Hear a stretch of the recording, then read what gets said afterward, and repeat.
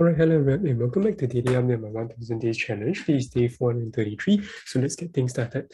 Alright, so first and foremost, you'll notice the balance remained the same. Actually, I've lost both 100 in terms of the main trading account balance and also another 50 both in terms of link setup. So I would say the link setup wasn't that great for the main trading account setup, so that was my fault on that.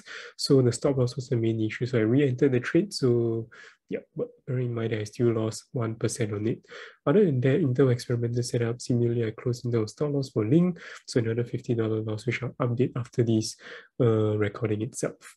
All right, so otherwise, if you look in terms of the main uh, financial market update itself, things looks to be really good and it seems that things has flipped. So the traditional financial market seems to be doing great today and Bitcoin didn't do so well today. So it seems like the opposite of what had happened yesterday itself.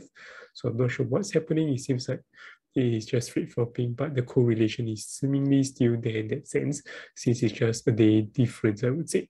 But it's a very nice bounce if you look across the board, even for KWEB, potentially we are breaking above this 50 simple moving average, which by far is one of the most bullish sign, because we were rejected once, twice, third time and this fourth time seems to be a charm, especially when this thing seems to be flatlining just before that, which is something that you want to see. So something like this flatlining and then we break above and potentially test for support would be a really good sign. So yeah, so yeah, even before that, we actually had the rejection over here just as well.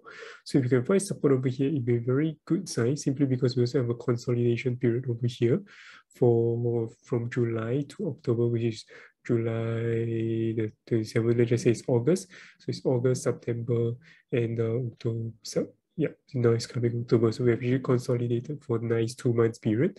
So you could have a very nice breakup towards the retest region here, which is at the $65 to $66 region itself. So let's see how things and how price react to it. And similarly for KWEB, things looks to be a little bit nice. And even for Nasdaq and S&P 500, we have a very nice decent bounce.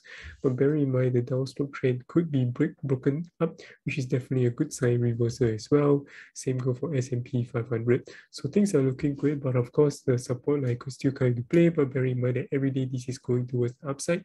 Same go for the 200 day simple moving average. With that said, uh, the only setup because I'm typically mentioned the Bitcoin itself. So on the four hourly chart, I mentioned what I want to see is a pullback. So you can see that even though the pullback is happening, the price action might show very weak and even an attempt in terms of a spike in volume failed to push price down, which is a very healthy sign going to show that there is uh, demand coming in at this level itself, even above the 20 exponential moving average on the four hourly chart. So potentially a very nice retest over here, especially with consecutive red candlestick itself, and yet price is still not falling sharply itself is to me a very, very bullish sign. So let's just hope that we could consolidate over here for a little bit more longer.